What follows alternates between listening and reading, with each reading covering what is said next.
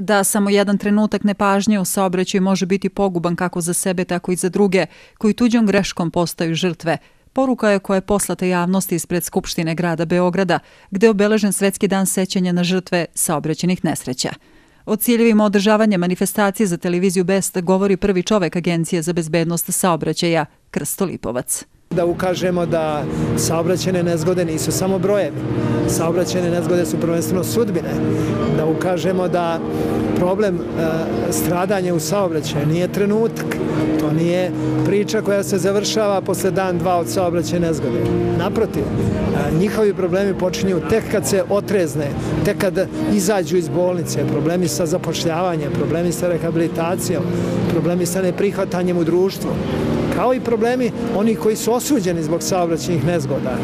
Posetiocima je prikazana simulacija spasavanja povređenih. Simulirali smo saobraćenu nezgodu sa teškim posljedicama i e, organizovali vežbu u kojoj su učestvovali saobraćena policija, e, sektor za vanredne situacije, e, ekipa hitne pomoći i Crveni krst.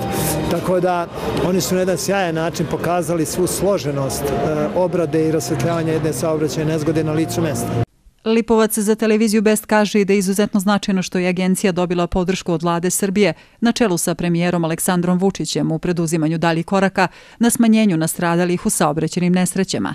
U tom smislu smo organizovali cele sedmice događanja, prošle i naredne, gdje je i naš premijer i svi ministri u vladi potpisali su jednu povelju o bezbednosti saobraćaja, a širom Srbije se potpisuje deklaracija o bezbednosti saobraćaja.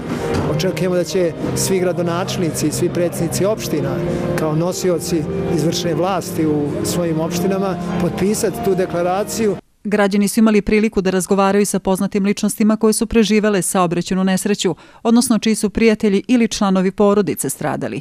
Među njima je bila i bivša košarkašica Nataša Kovačević, koja je pre nekoliko meseci posle teške saobraćene nesreće u Mađarskoj amputirana noga.